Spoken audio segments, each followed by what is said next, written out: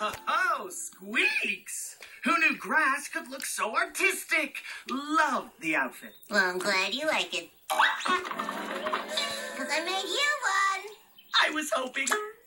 Aloha, aloha, hey. Here's a little hula dance for nature.